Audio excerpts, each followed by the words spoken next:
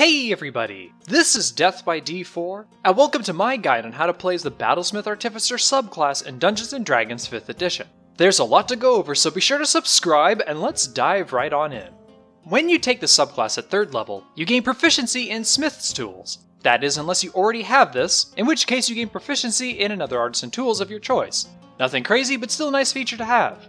You also gain your Battlesmith spells at 3rd level, which expands the number of spells available to you as an Artificer. Best of all, these spells don't count towards your spell preparation limit, meaning that you'll always have access to them whenever you need them. Of the selection made available to you, I'm going to give special shoutouts to Shield, Conjure Barrage, Banishing Smite, and Mass Cure Wounds, as all of those are just really good spells for you to have access to in general.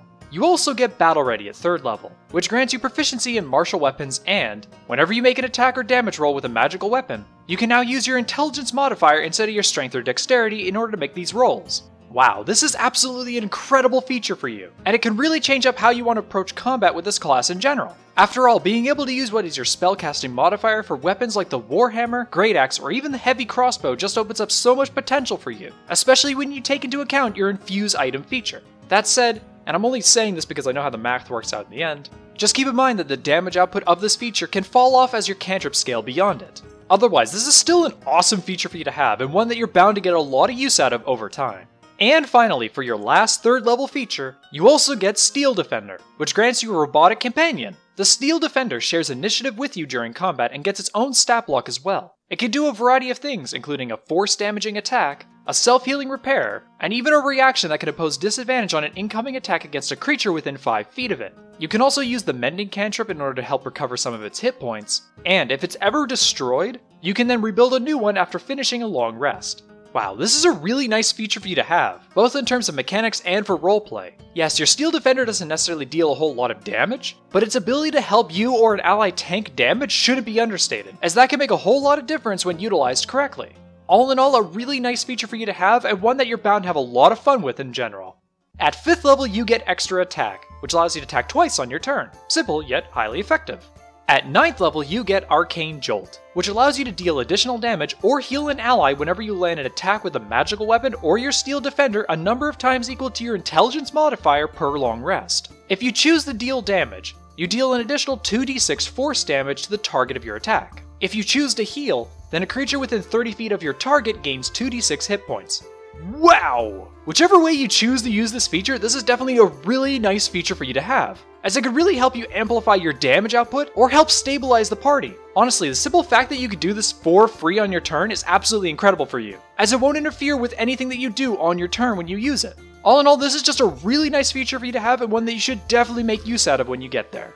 Finally, at 15th level, you get Improved Defender, which, despite its name, actually improves your Steel Defender and your Arcane Jolt. With your Arcane Jolt, the amount of damage or healing that you can deal with it increases to 46. And with your Steel Defender, it gains a plus 2 bonus to its AC, and whenever you use its Deflect Attack reaction, the attacker takes force damage equal to 1d4 plus your intelligence modifier. Wow. Honestly, all of these bonuses are really good for you to have, especially the improvement to Deflect Attack. After all, the damage that it deals is basically unavoidable, so that's pretty incredible in and of itself. Either way, just a really nice set of bonuses for you to receive, and overall a really nice feature for you to end things off with this particular subclass. Alright, so that does it for all the subclass features. Now on just a few of my own personal recommendations concerning it. First off, this subclass definitely plays well into the idea of being a melee focused spellcaster, so don't be afraid of trying to fit into that role if you really want to. However, if you still want to hang out in the back lines, just remember that your Steel Defender can still be useful in helping your intended frontline ally tank, and the utility of your infusions can really pair well with your ranged weapon options. After all, you do gain access to repeating shot, and that can pair extremely well with a heavy crossbow. Now, as for your race, consider playing as a rock gnome, as that's going to be a really good fit for an artificer in general. You could still look into playing as a dwarf for this particular subclass, but it's still possible for you to get a good amount of use out of the gnome races as well, especially if you're going to be focusing on ranged options instead. Either way, just keep it in mind for you as a possible option. Finally, let's talk about feats.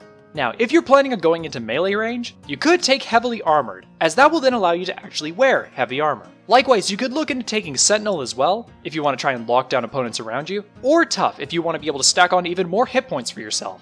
Otherwise, if you're going for range, consider taking Crossbow Expert and Sharpshooter, as both of these just pair really well with you in general, and will boost the power of your range attacks quite considerably. And that's it. If you liked the video, then be sure to subscribe and let me know what you think down in the comments below. And if you'd like to have the chance to play D&D with me, then feel free to join my Discord server, and consider supporting me over on Patreon. Thank you all so much for watching, and I'll see all of you in the next video.